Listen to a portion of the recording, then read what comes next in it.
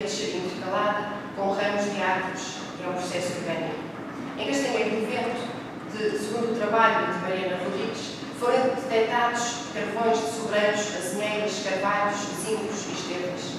As árvores que cresciam neste território foram selecionadas e trazidas para o local e misturadas com o solo, o substrato, a terra e o xisto. E estas paredes estariam em permanente decadência, acabando por ruir e por se entrelaçar com o chão, da terra para a terra. Os muros da estenha do vento, organismo ou organismos, integram partes de outros organismos que viveram e partilharam em ritmos diferentes. Coisas fragmentadas, animais e outros seres com dinâmicas próprias, com fragmentos de vidas latentes.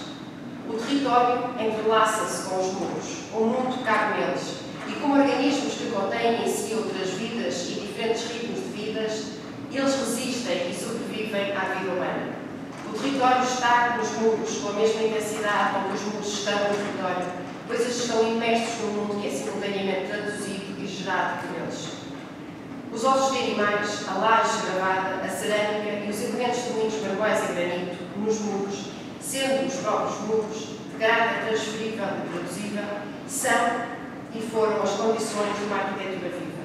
As paredes são atravessadas pelo mundo e também atravessam no movimento topológico.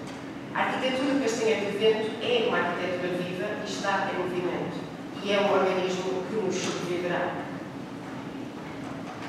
E para concluir, a pré-história parece situar-se agora na fronteira entre o orgânico e o inorgânico, e, mas continua no abismo.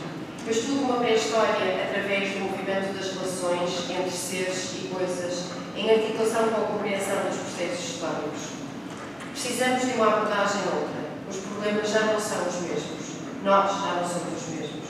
São necessárias outras perguntas levantadas entre campos disciplinares, condição do próprio processo de conhecimento. Que relação, mas que rede de relações nos sustentam, a nós e à análise? Para estudar o ser humano é preciso alargar, ultrapassar os nossos limites. E pergunto, qual a condição da própria arqueologia, atendendo à citação de Vidro Oliveira Jorge?